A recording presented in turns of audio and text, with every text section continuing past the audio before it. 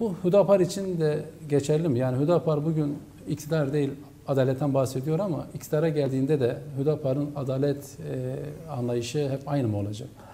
Şöyle söyleyeyim yani iktidarda veya muhalefette bir kişi eğer adaletten bahsediyorsa ama adalet hep bana doğru yonsun, beni haklı görsün diyorsa ya da bir kişi kendisine yapılmasını istemediği bir şeyi, bir hareketi başkasına yapıyorsa, duymak istemediği bir sözü başkasına söylüyorsa ya da kendine istediğini diğer kardeşi için de istemiyorsa aslında onun e, adalet isteği veya adalet talebi sadece lafta kalır, sözde kalır. E, hiç kimse ben adaleti istemiyorum, adalete karşıyım ya da ben zulme taraftarım demez. Zalimin ta kendisi olsa bile, zalimlerin kendileri bile siz sorarsanız belki kendileri adalet gerçekleştiriyor diye ama herkesin kendine göre bir doğrusu var fakat hakikat tektir.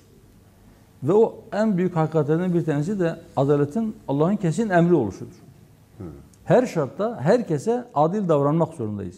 Böyle düşünüyoruz, böyle inanıyoruz.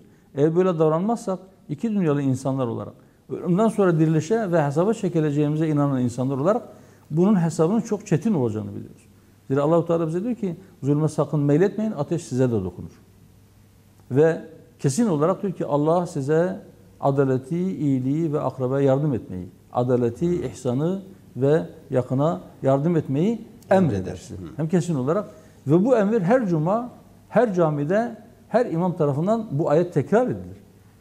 Ee, buradan iki sonuç çıkarıyoruz. Bir, bu kesin emrin herhalde unutulması çok sık oluyor ki bu kadar sık tekrar ediliyor. İki, e, belki bizim en fazla öncelememiz gereken ve Allah'ın asla hoş görmeyeceği e, şey zulümdür.